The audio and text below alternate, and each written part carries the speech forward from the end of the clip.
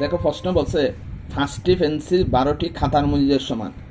আবার পনেরোটি পেন্সিল এবং আটটি খাতার মূল্য একত্রে সত্তর টাকা। পঁচিশটি পেন্সিল এবং বারোটি খাতার মূল্য কত? তাহলে এটা প্রশ্ন পরে দেখি, এত মনে হচ্ছে সহজ না। ফার্স্টটি পেন্সিলের মূল্য বারোটি খাতার মূল্যের সমান। পাঁচটি পেন্সিলের মূল্য সমান বারোটি খাতার মূল্য। এখানে অনেক স্টুডেন্ট লিখে কি জানো, পাঁচটি পেন্সিল সমান বারোটি খাতা, এটা হয়নি পাঁচটি পেন্সিলের মূল্য সমান বারোটি খাতার মূল্য। মূল্য কথাটা দেখতে হবে।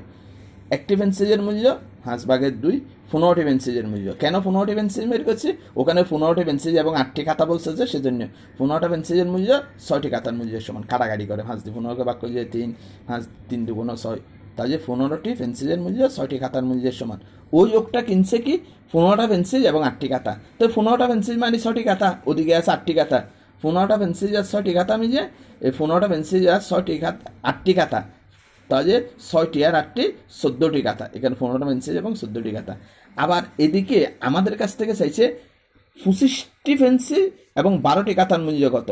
তাহলে পঁচিশটি পেন্সিলে কয়টি কাতা সেইটিও বের করে নিতে হবে সেইটা এখানে দ্বিতীয় ফেরায় করছে। পাঁচটি পেন্সিলের মূল্য সমান দুটি কাতা একটি পেন্সিল হাঁস ভাগের দুই, পঁচিশটি পেন্সিল সমান হাঁস ভাগের দুই গুণ পঁচিশ।